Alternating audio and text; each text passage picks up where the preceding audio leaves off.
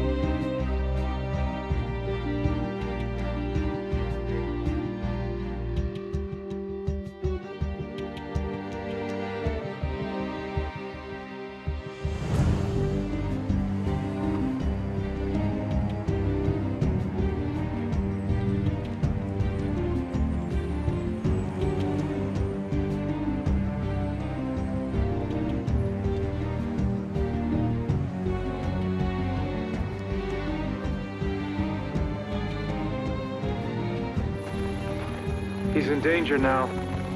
Because he was working for you.